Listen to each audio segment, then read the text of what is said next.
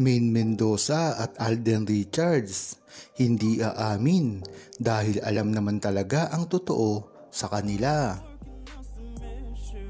Kung mapapansin nga ng mga true-blooded Aldam Nation ang ginagawang pag-amin lamang ni Alden Richards ay isang cryptic mensahe at ang resulta nito ay maraming pambabatiko sa publiko.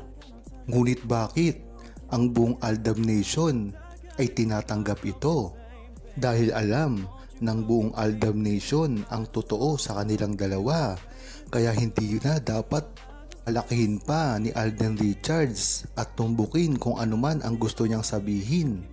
Hindi lamang kasi ito naiintindihan ng publiko at ng mga netizen na wala naman talagang alam sa tunay na relasyon ni Main Mendoza at Alden Richards kahit dati pa. Ngunit iba ang Aldam Nation. Alam nila ito dahil matagal na rin itong ginagawa ni Main Mendoza at Alden Richards. Kaya para sa buong Aldam Nation ay hindi na dapat aminin ni Main Mendoza at Alden Richards ng tahasan ang kanilang tunay na relasyon dahil sa mga cryptic kong sinasabi ni Alden Richards ang pagmamahal niya na sinasabi kay Main Mendoza ang anak nila dapat ay paniwalaan daw ng Aldab Nation ang gusto nila.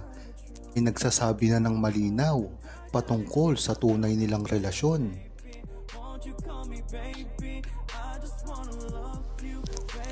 Huwag kalimutang mag-subscribe, comment at ilike ang video na ito.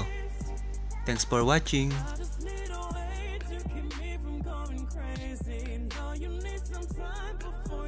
call me baby before you let me